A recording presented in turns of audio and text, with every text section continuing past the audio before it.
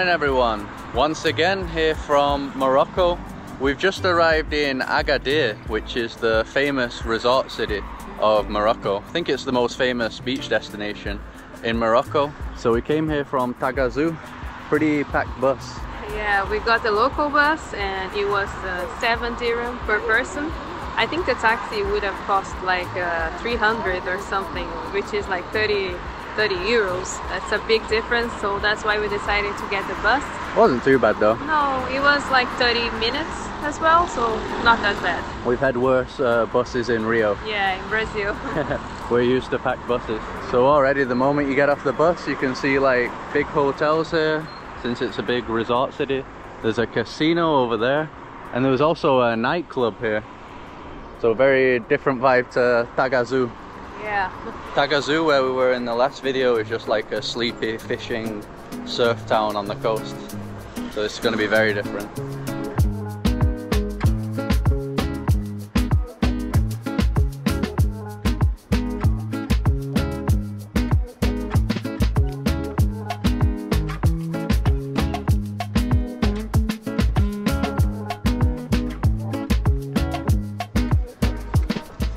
This area here is the Corniche, a nice big walking area, loads of cafes and restaurants on the side.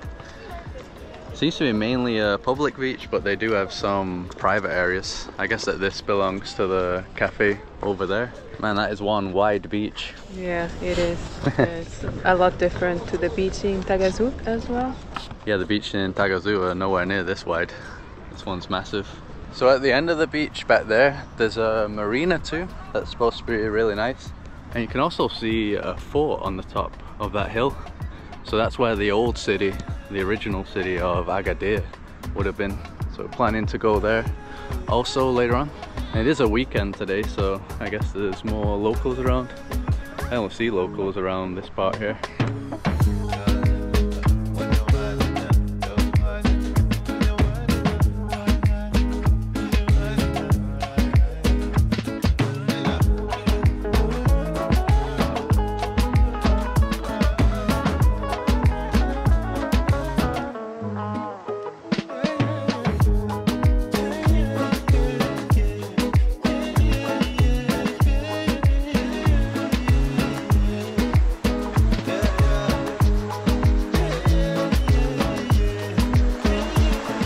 Don't think we're going to be doing any swimming here.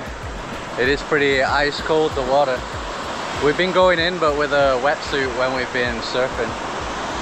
Not really that many people swimming around here, only a few.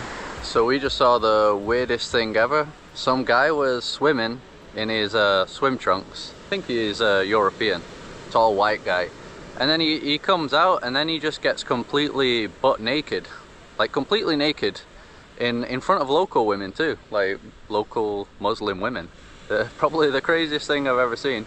And uh, it was just to switch out from his trunks and put uh, swimming shorts on. But obviously you can't do that here. I mean, we've seen it a few times in Europe on other public beaches, but even then, it, it's kind of weird even then, right? On a public Yeah, beach. Yeah, we've seen that in Portugal and like the, the Portuguese people, the locals, they also find it weird.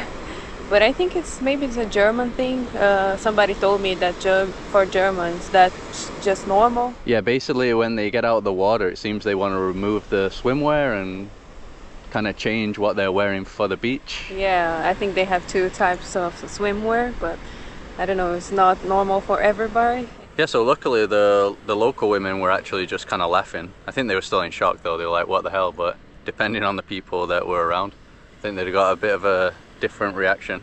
Yeah, I can't I can't actually believe that the the guy did that just now. But here in the tourist destinations, it's actually normal to wear a bikini from what we read before and from what we've been seeing. Yeah, apparently the locals don't wear bikinis, but uh, foreigners can wear. It's just fine. We saw many foreigners in bikinis, uh, more in Taghazout, but also here uh, we see, and it's just fine. Not not a problem. Yeah, so from our travels, that just changes depending on what Muslim country you're in. Um, we've been to some, I think like Oman, where there's just no chance. We even went to places in Oman where I wasn't allowed to wear a t-shirt.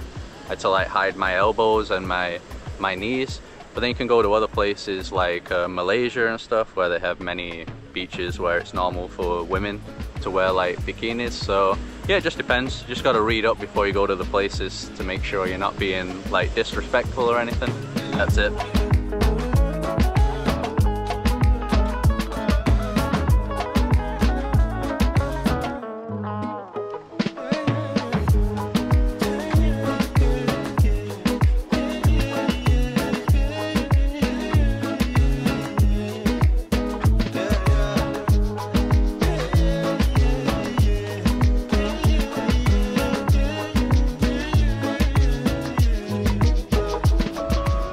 We're heading into the marine area. Looks like a bit of a rich area. I don't know if these are apartments. Pretty fancy looking buildings though. It's a pretty nice marina though. Actually reminds us a lot of the marinas that we see in the Algarve in Portugal. Some places around Morocco actually remind me a bit of Portugal. You get the palm trees. Over there they also have like the olives and uh, orange trees, things like that. Quite similar. They also have like the orangey rocks here. Yeah, hmm and the the constructions are kind of similar. To the not too- Algarve. Not too tall. Be a good place to have a fishing rod here. Like millions of fish here. They also have the gigantic seagulls here, like you get in the Algarve. They're like seagulls on steroids. they seem to be the exact same type. And you have surfing in the Algarve too, so yeah, it's just very similar, but also completely different in many ways too.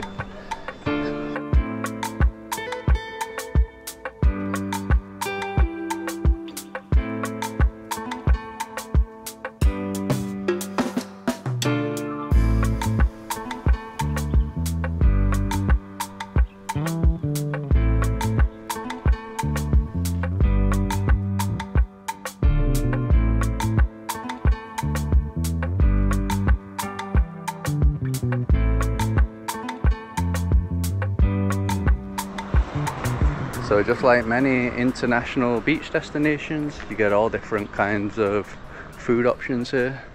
Some pizzerias. We might actually go for Indian food. We've been eating Moroccan food every single day. And it's also easier to find alcohol around here. There's some places in Morocco that don't have any alcohol at all. I think in Tagazu there's only a few places that would sell alcohol. So as I mentioned in the previous video, uh, first I thought that we were going to stay here instead of uh, instead of Tagazu. But uh, one of the things that I didn't like about this place was that the hotels, all the reviews were always complaining about the noise from the bars and the discos. The nightclubs. yeah, now we can see why because there are so many bars and nightclubs around here. Yeah, that's a nightclub there. But if you want to party, I think this is a good place to come. Uh, Yeah, it seems like it. Yeah, I think many people from the UK come here to party and get drunk. Some other places that you can visit. Looks pretty cool. Won't be making it there on this trip. Paradise Valley. So the restaurant is Bollywood Pakistani Indian restaurant. So it's right on the beachfront, the walkway. So as always, we'll go with the papadums. We love that at the Indian places, 30. I might get two samosas too, meat samosas, 55. And we always get a naan too. Plain naan is 15.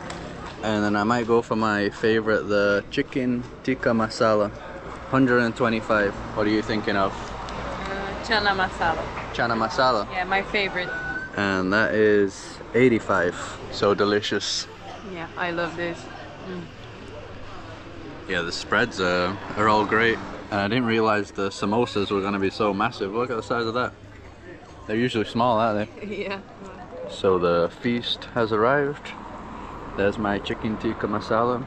It also comes with rice in that price. Big dish of rice. And then, yeah, you got the naan bread too. Just a nice amount of spice. That's always difficult when we order Indians because sometimes you say mild and then it comes with like no spice at all. Or sometimes you can say mild and it's still super spicy. Yeah, it's hard to get the, the right amount amount of spiciness. That we can handle. Mm-hmm. But this is pretty good, isn't it? There's a little yeah, kick there. Perfect. Yeah. Just a good amount for us.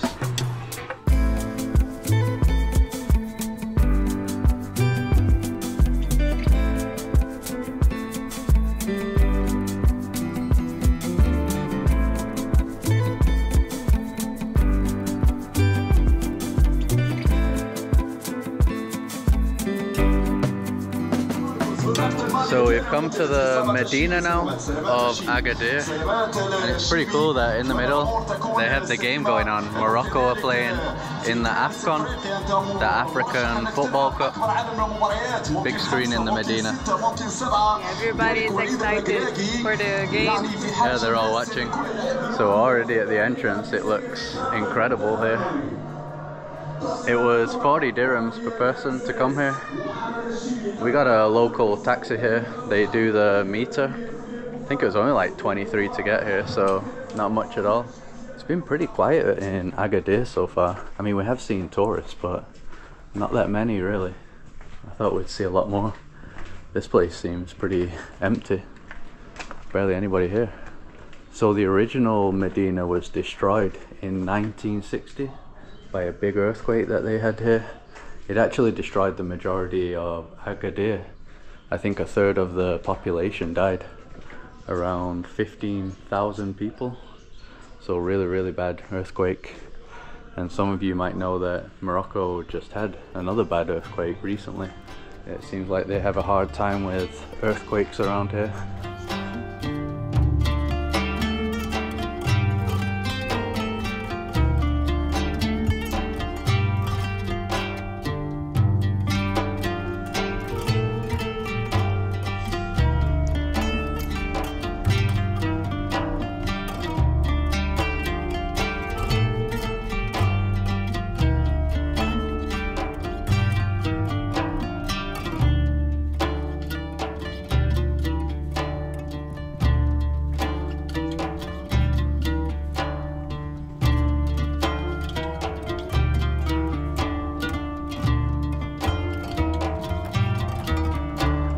Big amphitheater. Yeah, uh, they're like having something here, maybe at night, I don't know, some kind of event. Yeah, it looks like they have speakers, microphones. Even big cameras. Oh yeah, some sort of show here going on. Yeah, literally everywhere you look in this place looks amazing. So this was built in 1992, so it's not an old one, but obviously they've made it look like uh, an ancient Medina. In a way, it actually looks nicer than a lot of the Medinas that you can visit, the real Medinas, because everything's kind of perfect, the designs. Even got the Medina cats, like in, in Marrakesh. Cows already took a hundred photos. Yeah, everything's so beautiful.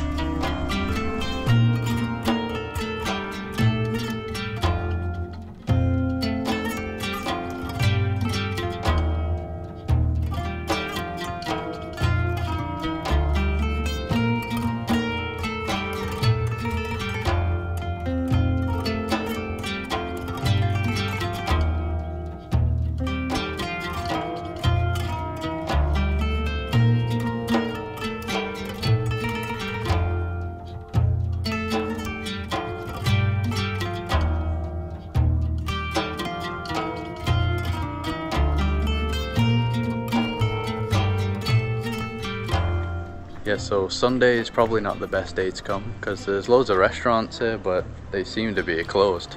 And it looks like the rooms were really beautiful where the restaurants are. I'm not sure if it's like that on Saturday too. I have to read about it.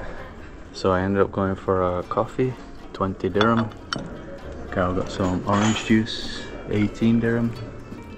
Nice and quiet now. It's half time, so they put it on pause. And we've been to some reconstructions like this before in Dubai and Abu Dhabi. But this one is way, way nicer. Way more picturesque.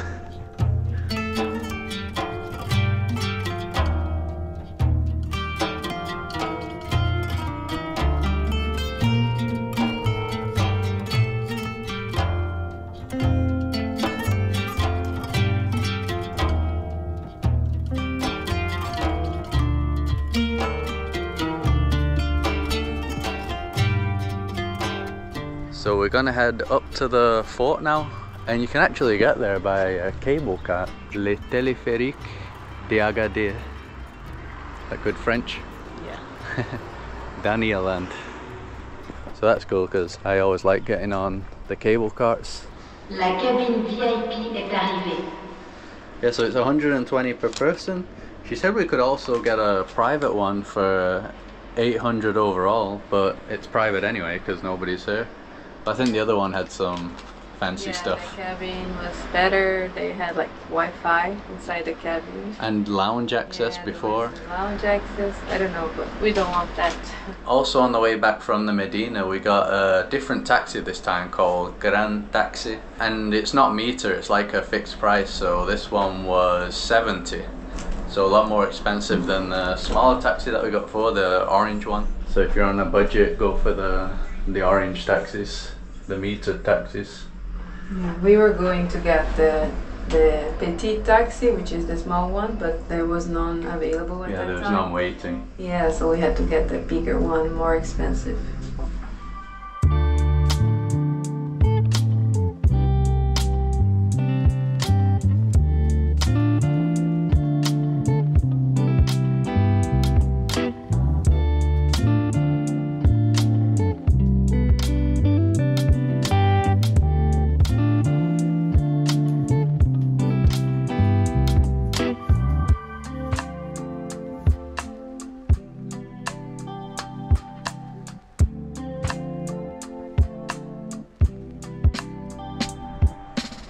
Was a really smooth ride to get here. Might actually be the smoothest cable car that we've ever been on.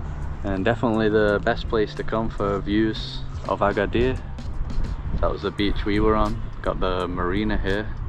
And this is a fishing port. I think it's the biggest fishing port in Morocco.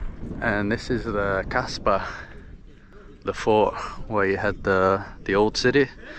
Also reconstruction because of that earthquake Unfortunately, it destroyed this place too. So the original one was from the 16th century. So really old, one of the first settlements around here. Here they have some images before the earthquake and after the earthquake. You can see the difference, all damaged. Ah yeah, so that was before. Uh-huh. Yeah, it's completely destroyed in this one. Like collapsed everything. You can see in the photo, once again before the earthquake, there was like the minaret of a mosque. But I think everything got completely flattened inside. So I was just reading on Google Maps about the reviews of this place and apparently the earthquake of last year, 2023, uh, affected the inside of this place and that's why you cannot go inside anymore. But before, I think one year ago, uh, you could go inside. So maybe in a few months it will be open again. Yeah, I guess they're repairing some things. Yeah. Would have been cool to see how it is on the inside. Seems to be a nice walkway along the outside though, at least. It's kind of worth coming up here just for the views anyway. So even at the back of the Casbah, you can still see some of the walls down there. So I guess it would have been protected at the bottom too. And I read that before this was built, there was actually a Portuguese settlement here. The Portuguese had settled here in the 1500s and they also had some sort of fort here at the bottom. So there was a time where both forts were here and then uh, eventually the locals here conquered the Portuguese and they all fled.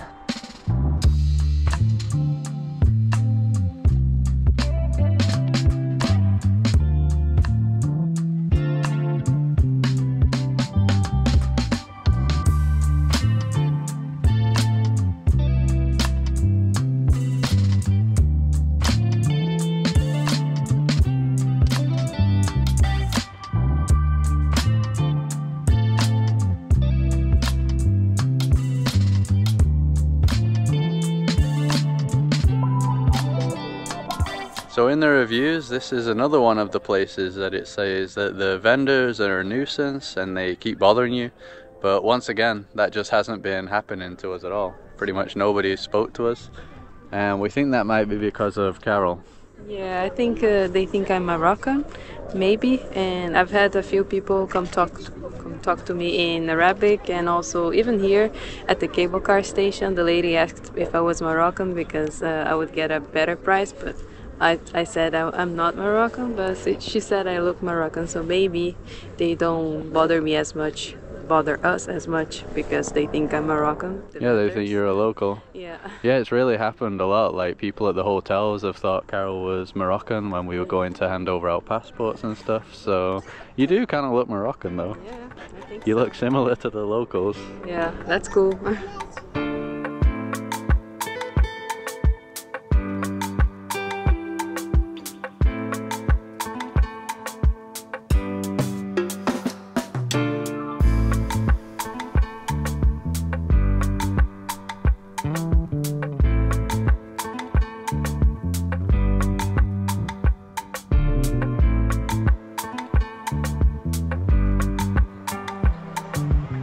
we're back in Taghazout now. We ended up coming back by taxi. It was 150 and this is the beach in front of our place where we're staying back there. Never actually seen it so low tide so far. Been here quite a few days. Never had this much beach area. I think every time we had a drink and ate at these places this was just covered in water. yeah, the tide is extra low, but uh, I think that means that it's gonna be extra high. So we're gonna sleep with the, the sound of the waves even stronger. That's good. Yeah. Hmm. There seems to be way more people on the beach here too today. Maybe because it's a Sunday. Beach is not usually this busy. Overall, I'm definitely glad that we decided to stay in Tagazu though over Agadir. Oh yeah, yeah. We like the Tagazu a lot more than Agadir. It's mainly because the, of the vibe, very laid back and relaxing. So it's our type of place. Yeah, it also seems a bit more authentic, I guess. The buildings. I just like the layout overall.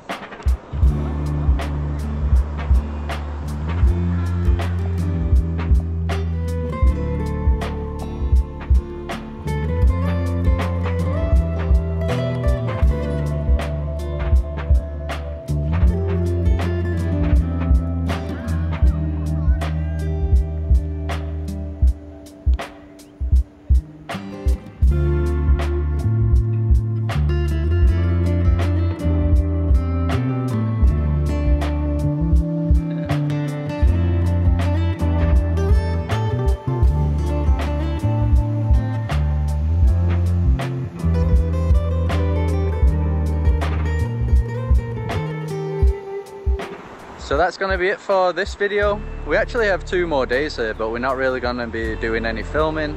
Just going to do some work on the laptop and hopefully learn to surf a bit more. Hopefully the waves are good for us to try surfing over the next two days. And in the next video, we're going to be in Essaouira, which is another very popular destination here in Morocco. So if you like this video, just drop a like as usual to support us. Subscribe to see more videos like this. Follow us on Instagram and Facebook, and we'll see you in the next one.